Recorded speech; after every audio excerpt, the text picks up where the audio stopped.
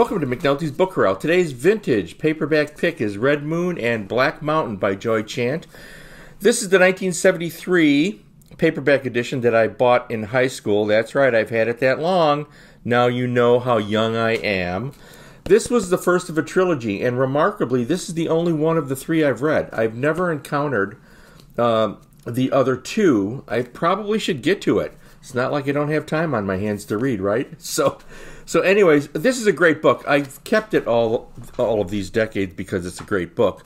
Um, it really had a positive effect on me when I read it, uh, and I understand that she did two more, and then possibly some other book relating to to uh, history.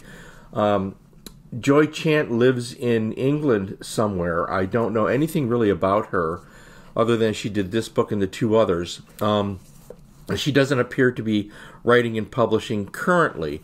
So, regardless of that, uh, here's a book that um, I'm sure some of you are familiar with. It's a great old paperback. It's no longer in print. I looked that up too, um, which is kind of amazing. I think that uh, I understand the next two books were equally as good. I'd like to see them all reprinted.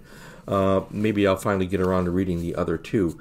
But I have hung on to this beautifully written book, Red Moon and Black Mountain by Joy Chant all of these decades later, and that is today's vintage paperback pick.